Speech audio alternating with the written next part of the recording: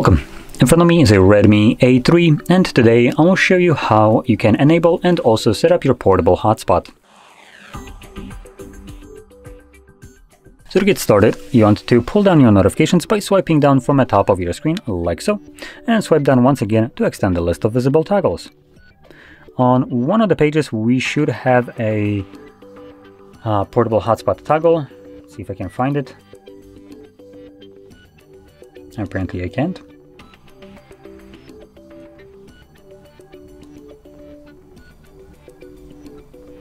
Am I blind? Oh, wait, there it is. So as you can see, we need to click right here on this pencil because it looks to not be added by default. And then once you see hotspot, you want to grab it. The text above will change to drag here to remove. So we're going to just drag it over to the top, drop it. And when you go back, you should have access to it. Now from here, you want to hold it again There we go. And this will quickly take us to the settings.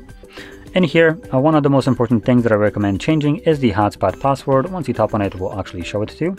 And I do recommend just getting rid of this one just because it is randomly generated and not very like friendly to actually typing it in. Oops, let's try that again.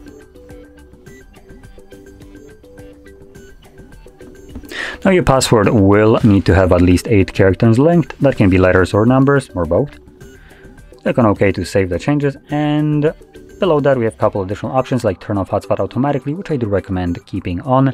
This will ensure that once you forget about it, uh, hotspot won't be running indefinitely in your back background and the reason that might be helpful is because hotspot will consume more of your phone's battery and on this device it actually also might be turning off Wi-Fi. Let's actually test that out.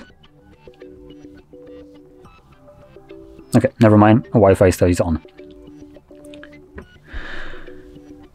And last thing that I can change here is the hotspot name. This is just gonna display the name of your hotspot or aka Wi-Fi throughout the list and it's always the name of the device itself. So from there, once everything is set, you can close this and whenever you want to enable your hotspot, simply find the toggle, tap on it, and you're good to go. Once it actually turns on, unless it's already on. It looks like it is, considering we do have the icon. Now once you're done using it, you can also quickly turn it off yourself by finding the toggle once more and simply tapping on it once again. Or with the toggle enabled for the automatic turn off, you can just wait like 10 or 20 minutes and the device will do it for you. So with that being said, if you found this very helpful, don't forget to hit like, subscribe and thanks for watching.